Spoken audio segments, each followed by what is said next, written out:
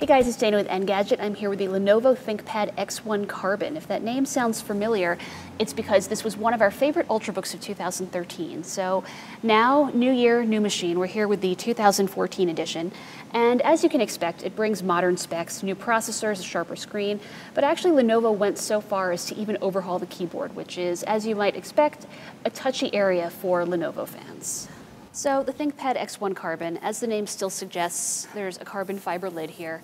Build quality is still pretty excellent. Um, on the bottom, though, you do now have this magnesium alloy um, mixed in. So it's not totally carbon fiber, but the build quality is still pretty great. And it's mostly the same size as ever. It's a little bit lighter, a little bit thinner, um, still the lightest 14 inch Ultrabook around, but that hasn't really changed. So, so far the design is pretty similar. What Lenovo did change in a big way is the keyboard, and that's kind of a risky move considering how much ThinkPad diehards love their keyboard, not to mention their signature trackpad, their track point here. So what Lenovo did in brief is it moved from a six row keyboard, as you can see, to a five row keyboard and replaced that function row with this adaptive keyboard panel here. So it has light up controls, touch sensitive controls that vary depending on the application you're using. So the machine is smart enough to actually cycle in, let's say, controls for web browsing instead of, you know, regular navigation. But you can switch yourself. So you can press this button here and you can cycle through anytime you want. And if you want, you can have it set all the time on a particular mode so that it never changes. So for instance, if you really do need those function keys, you can have your computer set up so that it always shows F1 through F12 instead of cycling through. So that's not the only change Lenovo made to the keyboard. In moving from a six row to a five row keyboard, as you can imagine, Lenovo kind of had to shuffle things around a little bit, which is not going to be great news for people who are set in their ways. So for instance, that backspace key, used to sit all the way in the upper right corner. It actually used to be bigger too. So not only is the backspace key smaller, but it's been moved over to the left a little bit. So that doesn't bother me as much because I'm used to using all kinds of keyboards. But I gave it to my colleague Terrence, who's a ThinkPad fan, and he found that his finger kept reaching over the backspace key by accident. He kept accidentally hitting the delete key. So that doesn't mean it's a deal breaker per se. I think people can maybe adapt to a new typing style, but just know there's a little bit of a learning curve there. Ditto perhaps for the home and end buttons, which used to be on the right side, um, and now they're on the left. So you'll have to get used to that as well.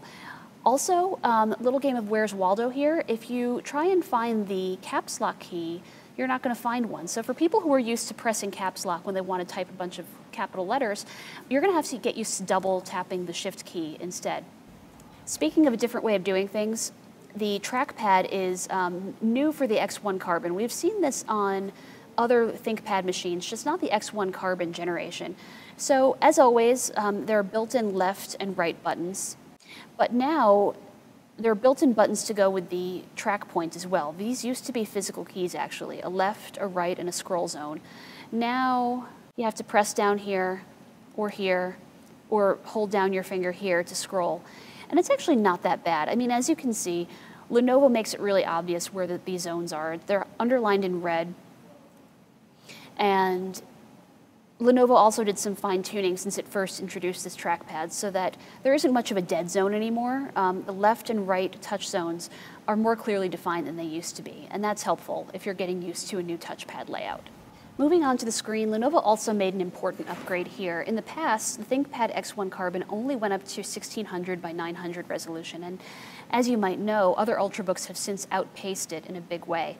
So Lenovo came back this year and introduced an optional 2560 by 1440 panel. You'll pay an extra $100 for that, but the, it, the, option is there for people who want it. Otherwise, it comes standard still with a 1600 by 1900 panel for the starting price of 1250. So let's talk about performance, and while we're at it, let's talk about the ports on board here. So starting off on the left, you have Lenovo's proprietary one-link power connector, full-size HDMI port, not something you're going to find on every single Ultrabook, mini display port, USB 3, and that's a headphone jack, of course. And then everything else is on the right side here. So you've got another USB 3 port and a little port here for gigabit Ethernet. And as you can see, that is a fan. One thing you won't find on the X1 Carbon that you used to be able to is an SD card reader, which is sort of odd. It's weird that Lenovo included one the first time and then just suddenly, poof, got rid of it. In terms of performance, this comes with your standard array of Intel Haswell processors, Core i5, Core i7, um, different SSD options. We already talked about different screen options.